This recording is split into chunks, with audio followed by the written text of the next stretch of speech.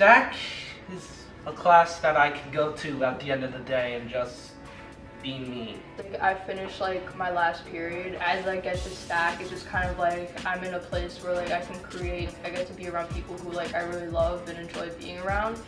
I felt like I was learning more about myself when I tried new art mediums. And to be able to explore different art mediums that I didn't think that I'd be able to enjoy before. It's it's like hard work, but I think it definitely pays off at the end. What makes STAC different is the amount of freedom. I got to do what I wanted instead of like a teacher listing like a hundred rules for me to follow. the fact that the three period class, we have time to bond, we have time to like, critique of each other's works, we can both like build ourselves up. STAC is just like like a second home for me. STAC, you talk to everyone, everyone talks to you. It's kind of like we're a family.